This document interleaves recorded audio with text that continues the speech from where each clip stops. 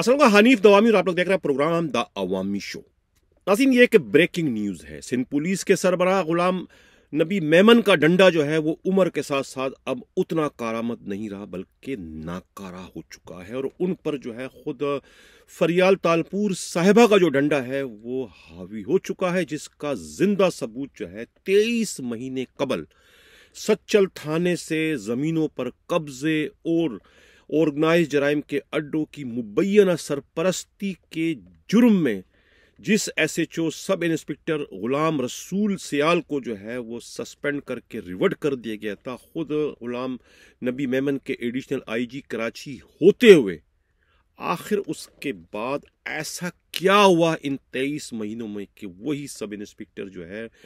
न सिर्फ़ खामोशी के साथ उन्हें इंस्पेक्टर बनाया गया, बल्कि डीएसपी भी बनाया गया और अब जाकर जो है वो उन्हें एसपी के अहदे पर तरक्की दिए जाने का नोटिफिकेशन भी जारी कर दिया गया है, जो कि इस वक्त आप लोग स्क्रीन पर देख रहे हैं। अब इससे तो ये साफ़ ज़ाहिर है कि आईजी गुलाम नबी मेमन साहब, वाकई आपका डंडा जो है वो नाकारा हो चुका है, किसी काम का नहीं रहा। और फरियाल तालपुर साहिबा जो है, वो आपसे हर मामले में जो है, वो इस वक्त सबकत ले जाते हुए नज़र आ रही है। यही गुलाम रसूल सियाल के एसपी बनने की सूरत में। सिंध पुलिस की तारीख में जो है, इस रफ्तार से पहले किसी पुलिस अफसर को जो है इतनी जल्दी जो है वो एसपी के अहदे पर तरक्की नहीं दी जा सकी। अब इस तरक्की में जो है एक और बात भी सामने आ गई है और ये बात अब रोज़ रोशन की तरह से आया हो चुकी है कि कंवर आसिफ जो कि न्यू कराची इंडस्ट्रियल एरिया के डीएसपी थे, उनकी मुअत्तली की असल वजह जो है वो महज सिर्फ़ और सिर्फ़ चोर रास्ते से इस इंस्पेक्टर गुलाम रसूल सियाल को जो है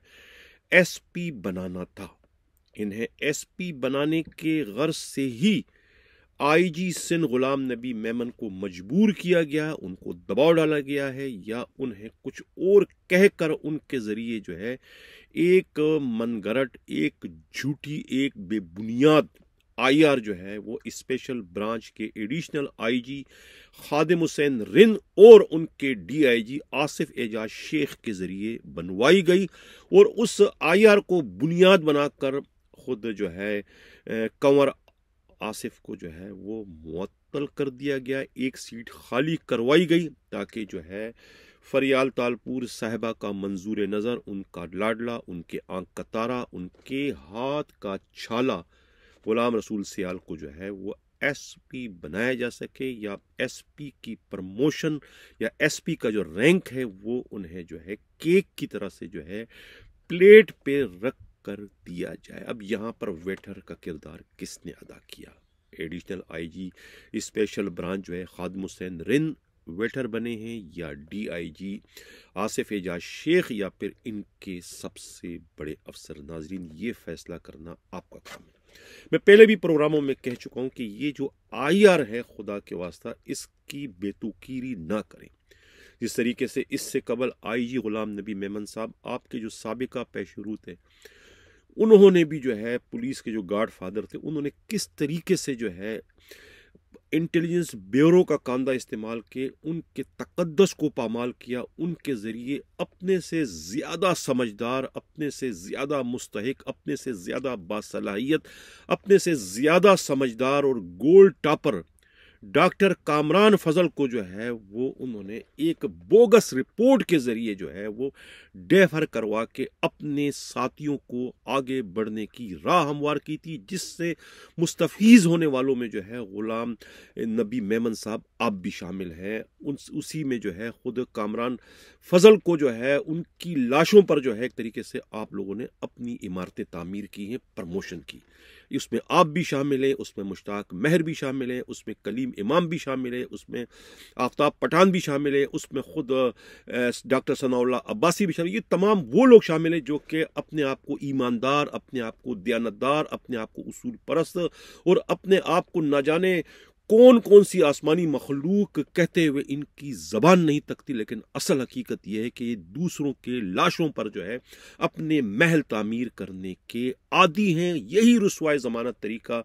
बदकिस्मती से जो है सिंध पुलिस के मौजूदा आईजी गुलाम नबी मेमन ने भी इख्तियार किया और उन्होंने वो काम जो कि उनके सबका पैशरू जो है वो आईबी से लिया करते थे आईबी का कांदा इस्तेमाल करते थे, वही कांदा जो है अब आईबी के बजाय शार्ट कट इस्तेमाल करते हुए जो है स्पेशल ब्रांच का कांदा जो है गुलाम नबी मेमन साहब के जहानत, उनकी अक्लमंदी, उनकी दानिशमंदी के ज़रिए से ये रास्ता इख्तियार किया गया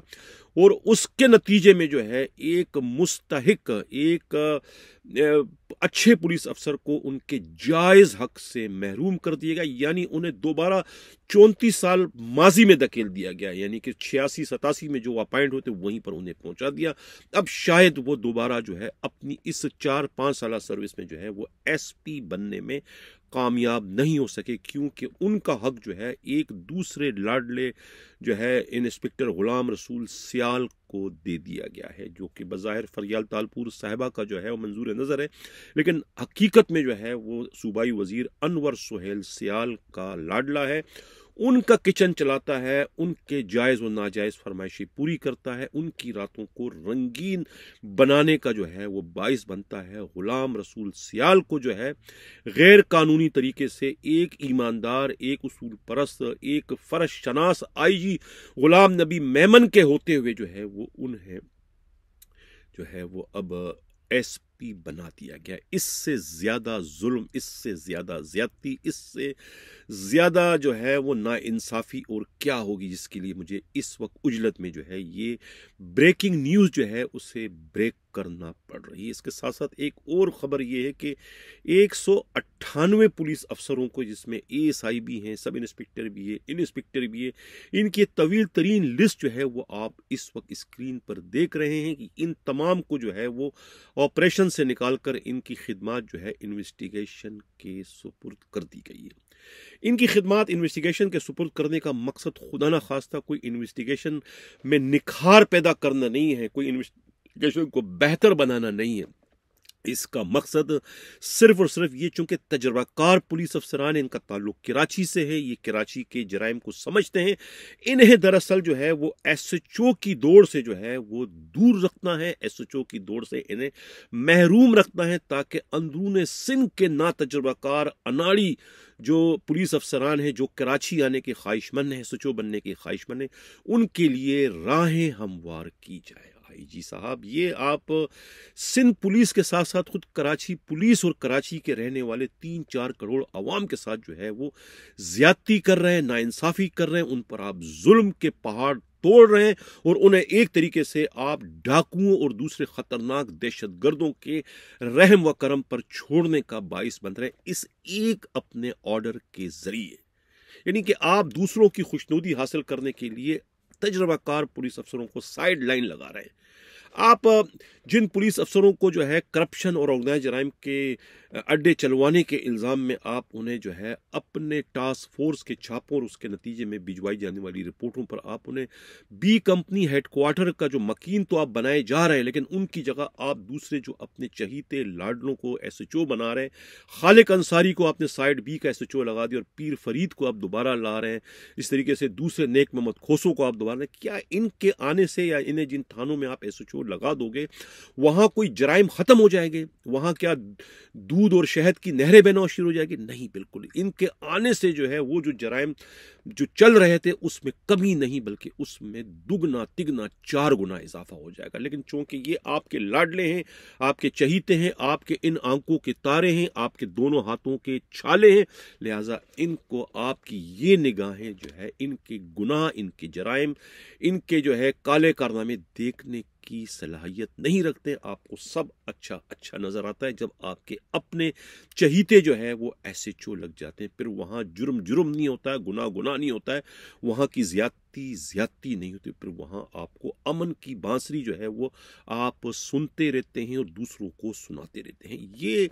सिलसिला आखिर कब तक चलेगा? कब तक ये सिलसिला चलेगा? कब तक जो है वो आप दूसरों के आँखों में धूल झोंकने का बाइस बनते रहोगे? मैं आपकी मुखालफत नहीं करना चाहता, लेकिन जो वाक़ात और हालात मेरे सामने आते हैं, जो चीज़ें मेरी ये आँखें देखती है, उसको बयान किए बगैर मैं नहीं रह सकता। एक दिन मैं आपकी तारीफ़ करता हूँ, अगले दिन आपकी जो है, आप पर तामीरी तनकीद के जो है, वो ताबड़तोड़ हमले करना शुरू कर देता हूँ। इसलिए कि मेरे पास कहने कहने को बहुत कुछ होता है क्योंकि आप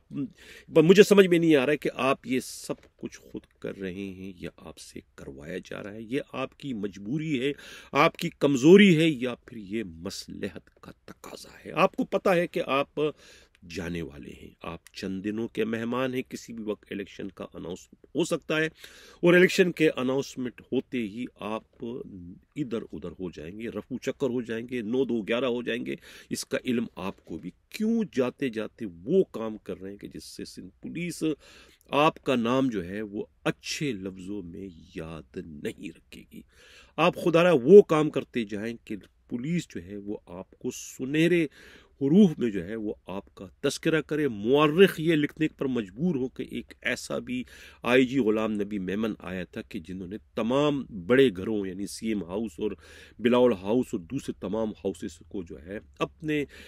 अटल फैसलों के नतीजे में जो है अपनी कदमों की ठोकर बना दिया था। खुदारा, खुद को उनका सहूलतकार न बनाए। ये जो गुलाम रसूल सियाल को जिस तरीके से आपने चोर रास्ते से प्रमोट किया, जिसके लिए आपको जो है खुद स्पेशल ब्रांच का कांदा इस्तेमाल करना पड़ा आयर का सहारा लेना पड़ा, और जिस तरीके से आपने एक मुस्तक एक तजुर्बाकार, एक काबिल फरशनास डीएसपी जो है खुद कंवर आसिफ के साथ जो आपने ज्यादती की किसी भी लिहाज से जो है मुनासिब नहीं थी और उसका अजाला करने की आपको ज़रूरत है। इसी के साथ नाजीन इजाज़त चाहता हूँ। अल्लाह हाफिज़।